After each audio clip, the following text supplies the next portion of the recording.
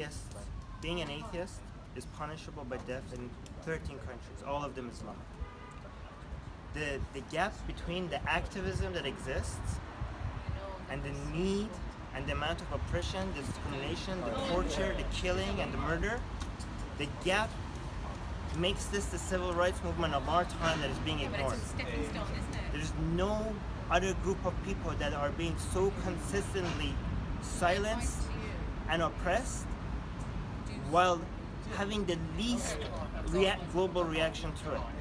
This is the fact that not even atheists are responding to this crisis is shameful and this is something that we're going to look back on. This is something that religious people could point to and say like, look, this is why you need religion.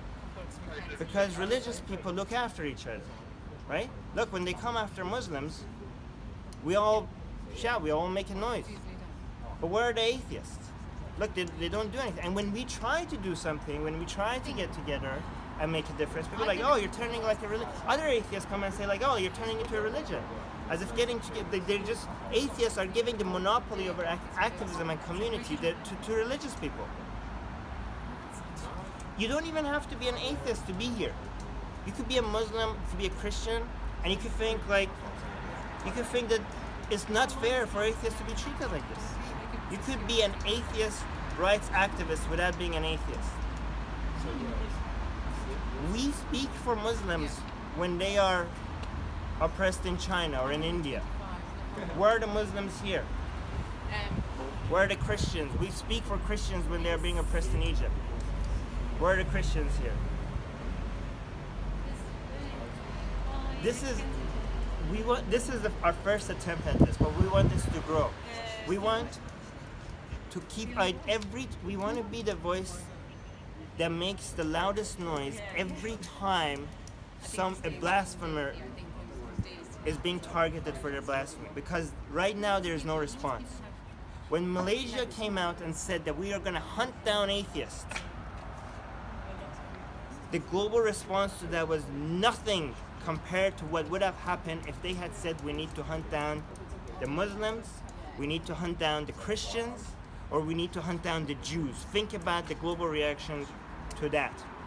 We need to be that voice that is not there we need to make these protests bigger and then we need to learn how to get journalists covering this every time we do this. And then when when when it is covered, we need to then go to politicians and be like, look, we're protesting, it's being covered. What the fuck are you doing about it? What is the United Kingdom doing about it? Why are they supporting a terrorist regime? Why are they the, the countries that are supposed to be champions of human rights are making excuses for the greatest violators of human rights. Why are why is the United Kingdom, why is Canada not putting push, putting more pressure? By the way, this is happening not just here in London. We're, this is happening right now today in, in Canada, in Australia, in Germany, in Sweden, in many other countries at the same time. If there's an Iranian embassy, it's happening in front of Iran's embassy. I mean, we got new people on, on YouTube. Can you tell them what's happening? Yeah, we're here in front of Iran's embassy in London, protesting the arrest and impris imprisonment and torture of Soheil Arabi. His crime, insulting Prophet Muhammad on Facebook. The response of Islamic theocracies to a Facebook post is torture and imprisonment, separating a father from his daughter and from his mother and from his wife for seven years for a Facebook post. How fucking weak your ideology has to be that you're threatened by a simple fa Facebook post. How fucking pathetic that you have to be that that is your response a Facebook groups. If, if, if Soheil Arabi committed the crime by, by, for insulting Islam, then Iran's government also committed the crime because they insulted Islam more by showing us what Islam stands for. Who insulted Islam more?